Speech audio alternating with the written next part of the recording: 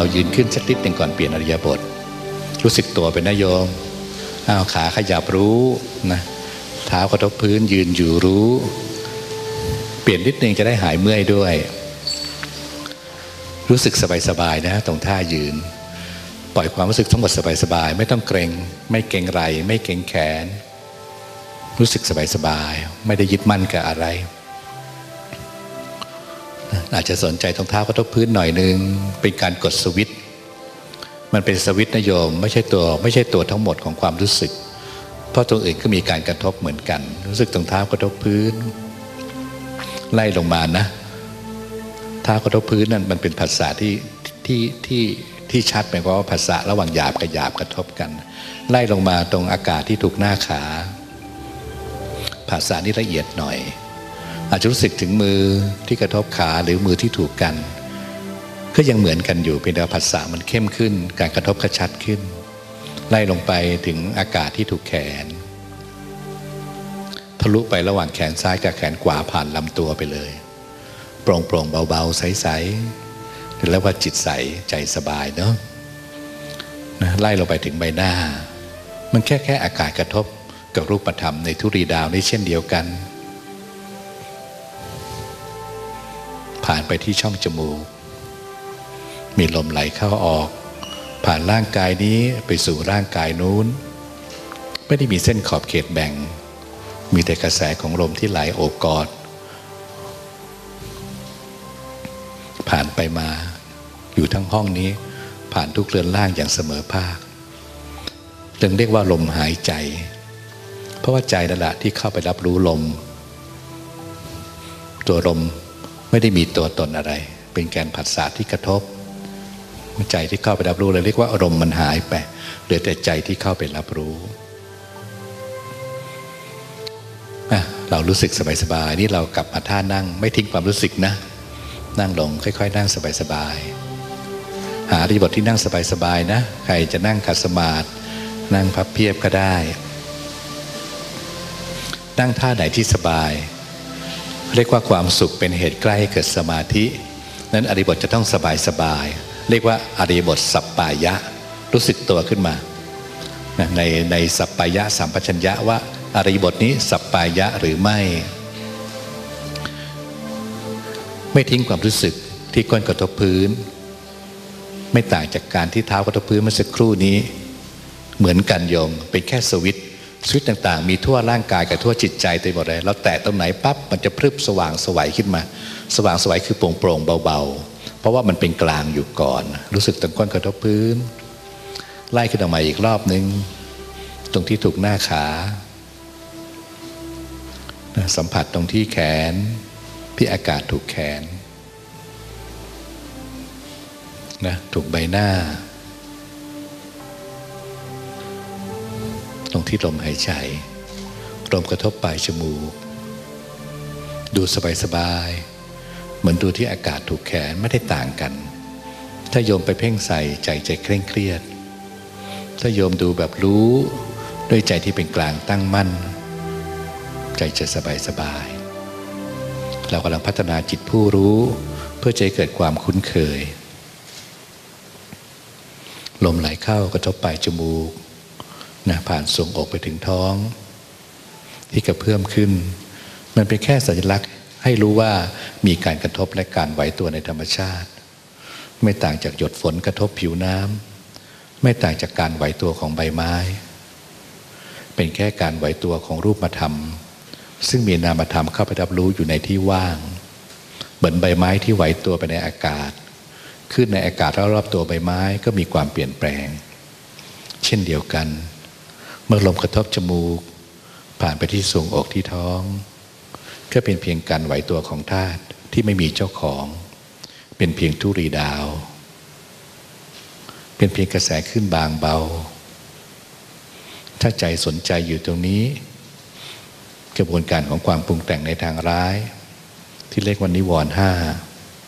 ที่ทำให้จิตเศร้าหมอง ก็ถูกจุติบทบาทไป เพอจิตเปลี่ยนหน้าที่เปลี่ยนเหตุปัจจัย ผลมันก็เปลี่ยน เหตุมันเปลี่ยน ผลมันก็เปลี่ยน ไม่ได้มีเราอยู่ตรงนี้ เหตุเป็นเพราะความคิดปรุงแต่ง ความฟุ้งซ่าน มันดับไป จิตมาสนใจอยู่ตรงลมหายใจที่เป็นกลางกลางเพราะลมมันไม่ดีไม่ชั่ว ความรู้สึกก็ไม่ดีไม่ชั่ว ใจที่เป็นกลางกลางก็ค่อย ๆ เปิดเผยความสุขเล็ก ๆ ขึ้นมา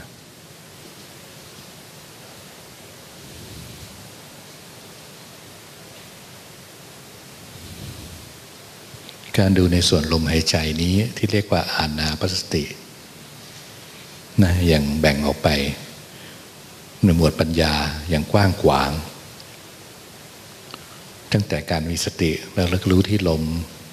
มีสัมผัสญะรู้สึกตัว อยู่ตรงปัจจุบันขณะ แห่งรูปที่กำลังปรากฏ ร่างกายล้วนแต่เป็นกองแห่งลม ตั้งแต่ศีรษะจรดปลายเท้า รวมถึงลมที่พัดผ่านออกไปข้างนอก ถ้าลมภายนอกไม่ใช่เรา ลมที่ไหลผ่านอยู่ในร่างกาย จะเป็นเราไปได้อย่างไร การมีสติมีสัมผัสยะมีจิตที่ตั้งมั่นอยู่กับรู้เช่นนี้ทำให้เกิดปัญญาเห็นความเป็นจริง ว่ากายนี้ไม่ใช่เรา ชื่อว่ากายานุปัสนาสติปัฏฐาน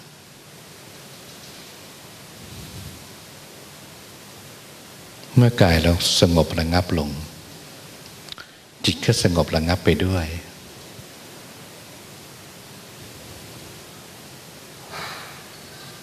สังเกตความรู้สึก ไม่ส่งจิตออกนอก สังเกตความรู้สึกใช้ความรู้สึก สังเกตลงไปที่ความรู้สึกตรงๆ จะเห็นความอิ่มเอิบ และแผ่ซ่านเป็นความสุขที่โปร่งเบา ความโปร่งเบานั้นทะลุผ่านออกไป จากภายในสู่ภายนอก มีความแช่มชื่นโปร่งเบา เราเรียกว่าปิติสุข ซึ่งเกิดจากการที่นิวรณ์ห้าดับลง เหตุแห่งกุศลเกิดขึ้น คือตัวสติเป็นตัวกุศล ผลเป็นความสุข เพราะเหตุแห่งนิวรณ์ห้าดับ เหตุแห่งกุศลเกิด ผลเป็นความสุข สุขนี้จึงไม่ใช่ตัวตน เป็นเพียงเหตุปัจจัย เพราะเหตุที่อกุศลมันดับไป เหตุใหม่ที่เป็นกุศลเกิด เมื่อเหตุเปลี่ยนผลจึงเปลี่ยน เวทนาเป็นสิ่งที่ไม่ใช่ตัวตน สุขเวทนาที่เกิดขึ้น เกิดจากเหตุที่เป็นกุศล แห่งตัวสติตัวสัมปชัญญะ และตัวสัมมาสมาธินะดูเข้าไปตรงเวทนาที่ความรู้สึกที่เกิดขึ้นเป็นสุขเวทนาปรุงปรงเบาๆ ไม่มีเจ้าของเป็นแค่สิ่งถูกรู้ อาศัยเหตุปัจจัยเกิดขึ้นอย่างนี้เราเรียกว่าเวทนานุปัสนาสติปัฏฐาน และยังสามารถเห็นเวทนาเป็นสิ่งถูกรู้ ที่อยู่ในท่ามกลางความโปร่งโปร่งเบาๆ มีผู้รู้อีกตัวหนึ่งมองมาจากความว่างเช่นเดียวกัน เห็นเวทนาที่เกิดขึ้นบนความว่างและการเฉลียวใจเห็นจิตที่ตั้งมั่นในความเป็นผู้รู้ จิตที่ตั้งมั่นเนี่ยเป็นจิตตานุปัสสนาสีปัฏฐาน ที่เรากำลังสังเกตการทางวันของจิตที่ตั้งมั่น จะเห็นว่าความเปลี่ยนระดับในอุณหภูมิของจิตจากความสุข เข้าไปสู่ตัวเอกคตา มีความตั้งมั่นก็รู้ หรือไม่ตั้งมั่นก็รู้ ถ้ารู้ว่าจิตไม่ตั้งมั่น จิตจะกลับมาตั้งมั่น เห็นการทำงานของจิตที่เปลี่ยนไปตามเหตุปัจจัย จึงชื่อว่าจิตตานุปัสสนาสติปัฏฐาน กระบวนการอาการของจิตที่เปลี่ยนไปตามอุณหภูมิของเหตุปัจจัยนี้ก็ไม่ใช่ตัวตนอะไร ระดับของความสงบที่เข้มข้นขึ้น เพอจิตไม่ส่งออกนอก จิตจึงกลับมาตั้งมั่น มีความเข้มข้นขึ้นตามลำดับแห่งความตั้งมั่นนั้น เป็นการเจริญวิปัสสนาในท่ามกลางสมถะคือเห็นปรากฏการณ์แห่งความไม่คงที่ในท่ามกลางความสงบที่มีความสงบลึกล้ำเพิ่มขึ้น เราเรียกว่าสมถะเป็นบาดฐานวิปัสสนา คือเมื่อจิตมีความสงบตั้งมั่น จึงเห็นกระบวนการของความเกิดดับที่เปลี่ยนแปลง ตั้งแต่เริ่มนั่งจนถึงปัจจุบัน มีเหตุปัจจัยที่เกิดดับเปลี่ยนแปลงไป เหตุนั้นมีผลนี้ก็มี เหตุเปลี่ยนผลก็เปลี่ยน แม้ปัจจุบันขณะก็เป็นเพียงเหตุปัจจัย เราจึงเรียกว่าปัจจุบันสันตติ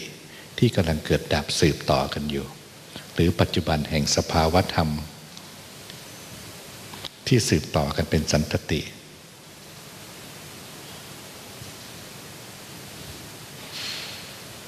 ในท่ามกลางจิตที่ตั้งมั่น อาจจะมีจิตที่เผลอคิดบางๆโชยผ่านไป เหมือนกระแสลมที่พัดผ่านผิวน้ำบางๆ เป็นระลอกเล็กๆ ถ้าไม่ให้ค่า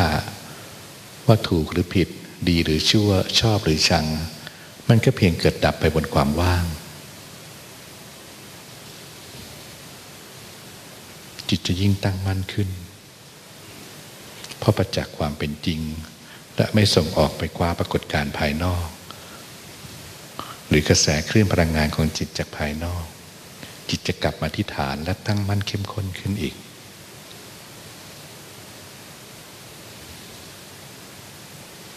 การเห็นความเกิดดับในแต่ละขณะ ชื่อว่าวิปัสนาญาณ วิแปลว่าวิเศษ ปัสนาคือการเห็น ญาณคือปัญญา การเห็นด้วยปัญญาอวิเศษ คือการเห็นว่าสิ่งที่เกิดดับไปนั้น จะเป็นตัวตนของเราไปได้อย่างไร การเห็นความเกิดดับจึงช่วยละสัญญาวิปราช เห็นเป็นอนัตตสัญญา เห็นความไม่ใช่ตัวตนของสิ่งที่เกิดดับไปต่อหน้า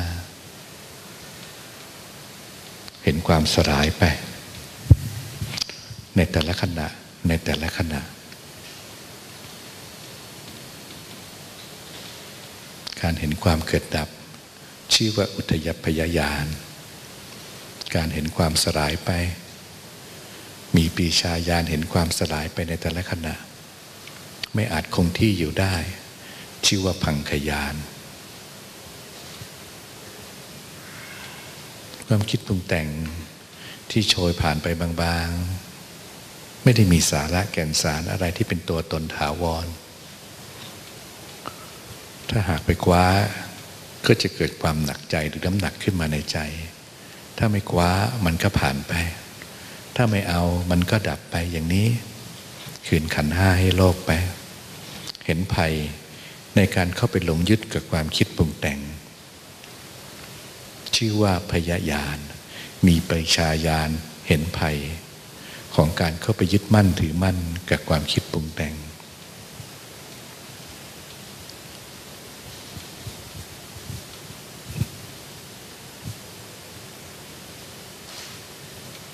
จิตที่ตั้งมั่นตามลำดับในวิปัสสนาญาณนี้จะมีความเข้มข้นขึ้น ที่เรียกว่าสมาธิเป็นเหตุใกล้ให้เกิดปัญญา ปรากฏการต่างๆ ที่เกิดดับผ่านไปเป็นเพียงสิ่งถูกรู้ มือนรสชาติน้ำที่กระทบลิ้นระดับไป เหมือนรสชาติเสียงที่กระทบหูระดับไป รสชาติของความคิดที่กระทบใจระดับไป ก็เช่นเดียวกัน ถ้าเสียงที่กระทบหู เสียงนั้นไม่ใช่เราเป็นเพียงสิ่งถูกรู้ การรับรู้ที่เรียกว่าโสตวิญญาณ ก็ต้องไม่ใช่ตัวตน ในเมื่อเสียงไม่ใช่ตัวตน ดังนั้น มโนวิญญาณที่เข้าไปรับรู้ความคิด ความคิดจึงเป็นจิตถูกรู้ และมโนวิญญาณก็ไม่ใช่ตัวตนอะไร เข้าไปเห็นกระบวนการการทำงานของขันห้าชื่อว่าธรรมานุปัสสนาสติปัฏฐาน หากไหลเข้าไปในโลกของความคิด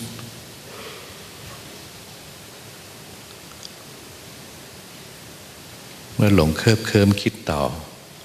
เห็นความเป็นโทษที่จิตเสียการทรงตัว ชื่อว่าอัติวนาญาณเห็นโทษแต่การเข้าไปยึดขันห้าถ้าไม่ยึดแต่ละปรากฏการก็ดับผ่านไปในที่ว่าง ไม่เห็นมีแก่นสารอะไรในโลกของความปรุงแต่ง ไม่ว่าจะปรุงแต่งเรื่องถูก เรื่องผิด เรื่องชอบหรือเรื่องชัง เรื่องดีหรือเรื่องชั่ว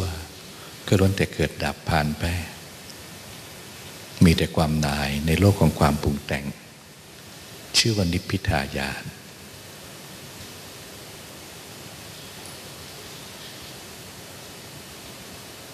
จิตจึงมีปัญญาหาทางออกจากทุกข์เป็น ไม่ได้ออกจากทุกข์ด้วยการไปจัดการคนอื่น ไม่ได้ออกจากทุกข์ด้วยการจัดการตัวเองทำร้ายตัวเองหรือฆ่าตัวตาย แต่ออกจากโลกของความคิดปรุงแต่ง เพราะจิตเดิมปกติอยู่ก่อน ความคิดปรุงแต่งเป็นสิ่งที่มาทีหลัง การมีปัญญาออกจากความคิดปรุงแต่งหรือออกจากทุกเป็นนี้ ชื่อว่ามุนจินตุกรรมยตายาน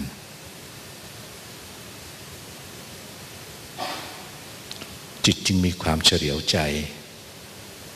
มีความฉลาด ทวนเข้าไปเห็นการทำงานของจิตภายใน ในปรากฏการณ์ต่าง ๆ ไม่ได้มีมาก่อนแล้วจึงมีขึ้น มีขึ้นแล้วก็ดับไป จิตเดิมเป็นความว่างมาก่อน มีความคิดผ่านเข้ามาแล้วดับไปบนความว่าง ชื่อว่าสุญญตาวิโมก คือไม่มีแล้วมีขึ้นเป็นปรากฏการณ์ชั่วขณะระดับสลายไปบนความว่าง เป็นการทวนเข้าไปเห็นปรากฏการณ์ของความคิดปรุงแต่ง คำว่าทวนชื่อว่าปฏิ ความคิดปรุงแต่งเรียกว่าสังขาร การมีปัญญาเรียกว่าญาณจึงเรียกว่าปฏิสังขารญาณมีปัญญาทวนเข้าไปเห็นกระบวนการของความคิดปรุงแต่ง ซึ่งไม่ได้มีมาก่อน แล้วจึงมีขึ้นมีแล้วก็ดับไป ไม่มีความคงที่อยู่สักขณะ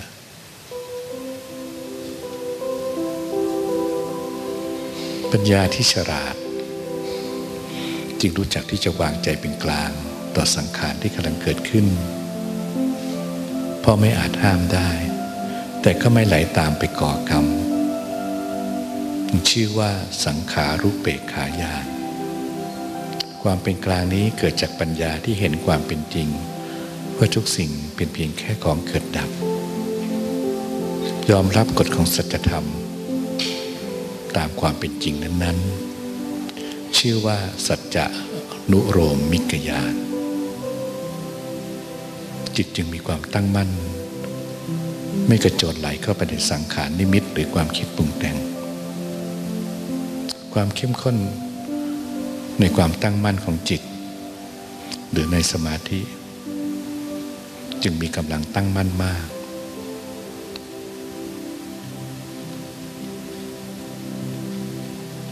จิตที่มีกำลังตั้งมั่นมาก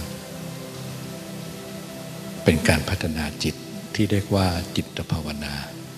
หรือภาวนาไม่ปัญญา ภาวนาจึงเป็นบุญที่มีกำลังเข้มข้นสูง เพราะสามารถออกจากความทุกข์ได้จริง และสามารถริมรสชาติแห่งความสุข หรือสันติสุขที่มีอยู่ก่อนแล้ว ช่วงที่จิตมีบุญกุศลเข้มข้นนี้ การอุทิศส่วนบุญ จะมีกำลัง และได้ผลมีประสิทธิภาพสูงมาก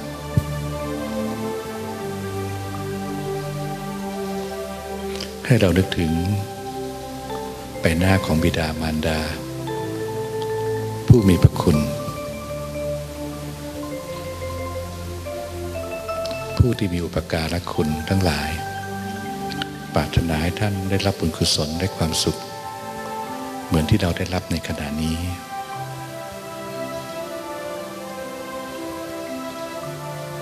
แม้ในขณะนี้ที่เราบันั่งอยู่ที่ยุวพุทธพ่อคุณพ่อของคุณเป็ก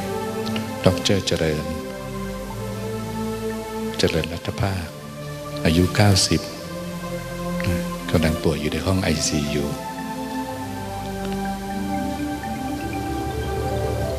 ให้เราแผ่ความสุขนี้ เป็นรัศมีภาพให้ความดีงามอันนุ่มเย็น ไปถึงท่านด้วย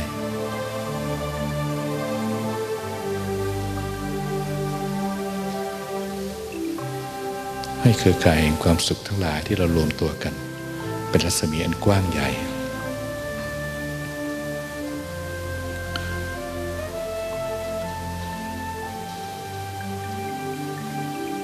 ผ่กว้างไปอย่างไม่มีประมาณ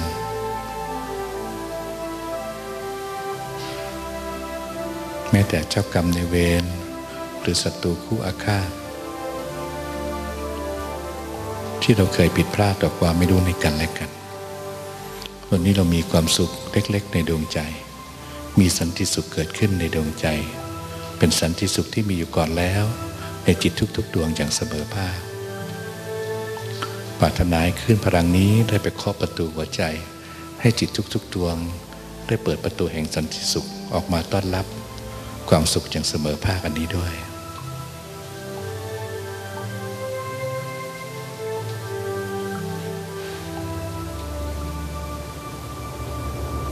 สังเกตดูความรู้สึกนะที่โปร่งเบากว้างขวางไม่มีประมาณนี้นะแผ่กว้างออกไปถึงเทวดา ที่คุ้มครองดูแลพระพุทธศาสนา ดูแลประเทศชาติ เทวดาทั่วสารกลภพบที่เป็นเครือข่ายความดีงาม จึงเชื่อมต่อกับพลังเครือข่ายความดีงาม ที่แผ่พุ่งออกไปนี้และได้รับความสุข อย่างเสมอภาคในครั้งนี้ด้วย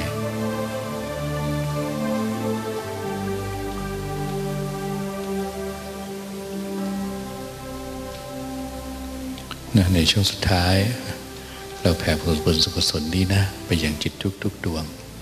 ที่ต่างมีความบริสุทธิ์เหมือนกัน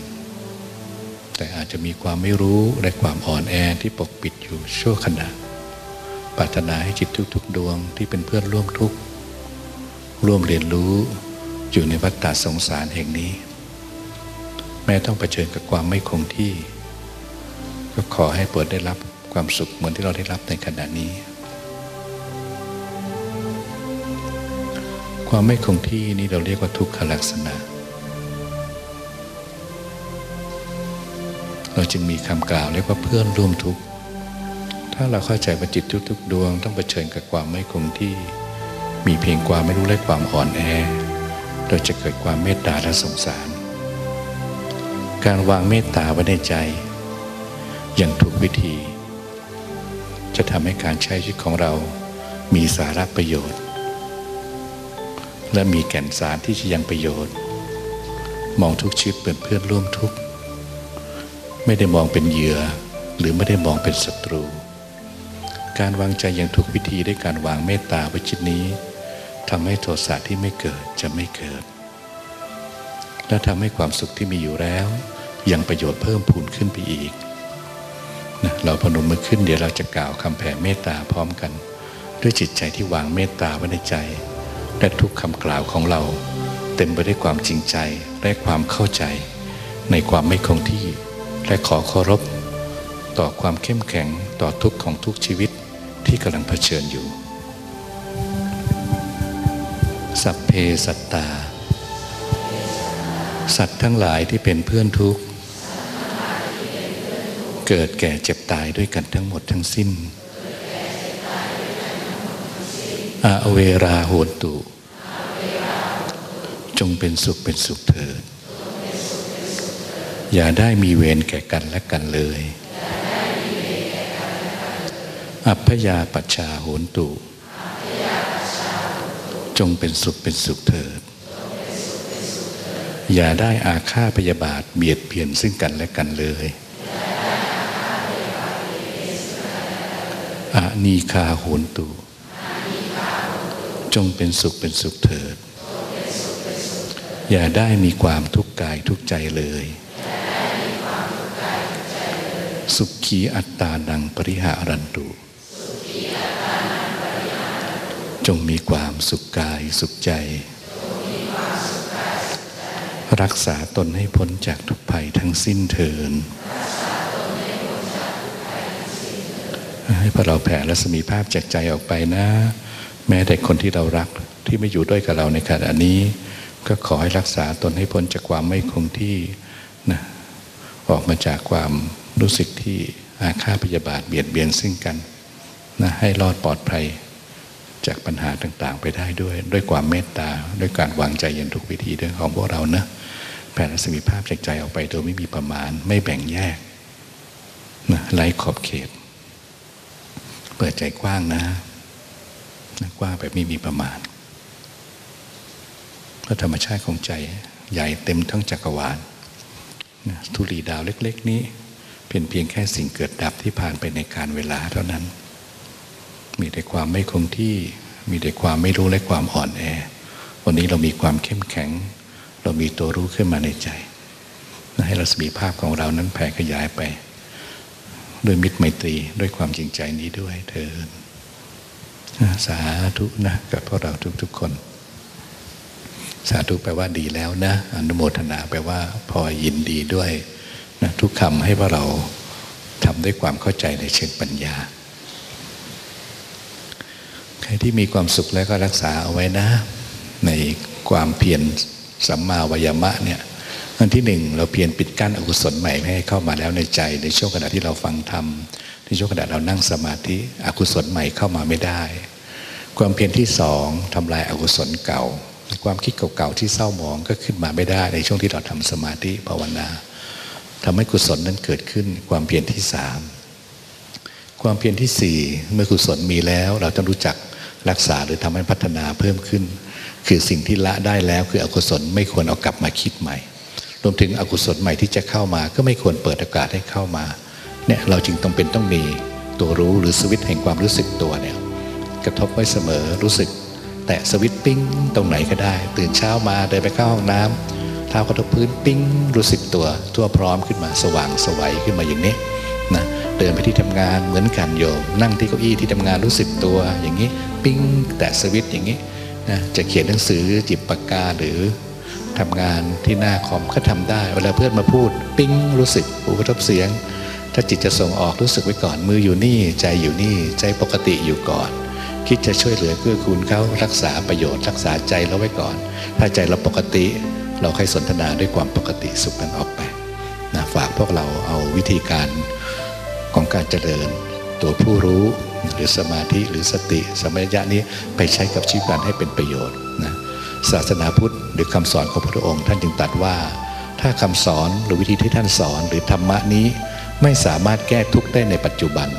ธรรมะนี้จะไม่มีประโยชน์อะไรเลย ให้เราพิสูจน์ดูว่าถ้าธรรมะหรือวิธีแบบนี้แก้ทุกข์ในปัจจุบันได้